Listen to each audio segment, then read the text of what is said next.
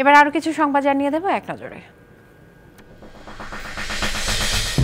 এমপিওভুক্ত শিক্ষা প্রতিষ্ঠান জাতীয়করণের দাবিতে রাজধানীর জাতীয় প্রেস ক্লাবের সামনে লাগাতার অবস্থান কর্মসূচির তেইশতম দিন পালন করছে বেসরকারি এমপিওভুক্ত শিক্ষক কর্মচারীরা। সারা দেশ থেকে আসা হাজারো শিক্ষক কর্মচারীরা এই কর্মসূচিতে অংশ নেন।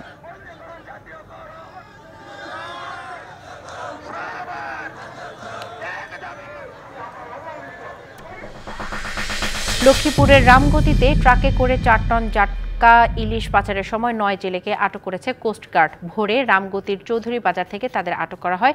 কোস্টগার্ড জানান, নিষেধাজ্ঞা অমান্য করে জাটকা ঢাকায় নেওয়ার সময় তাদের আটক করা হয়।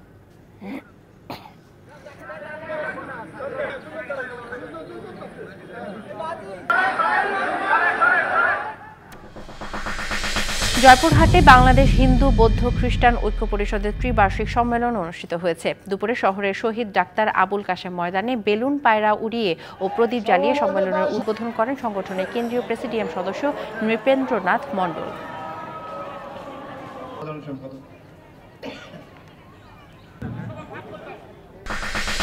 সাতক্ষীরা শ্যামনগরে ছেলেকে জুসের সাথে বিষ খাইয়ে হত্যার ঘটনায় মা সুমিতা রানী দত্তকে কারাগারে পাঠানো হয়েছে। পুলিশ জানায়, শুক্রবার বিকেলে আটকের পর জিজ্ঞাসাবাদে হত্যার কথা স্বীকার করেন তিনি। পরে আদালতের নির্দেশে তাকে কারাগারে পাঠানো হয়।